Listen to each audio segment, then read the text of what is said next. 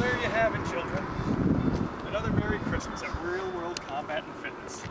Come in and learn how to lift weights or choke out your opponent seven days a week. Ho, ho, ho.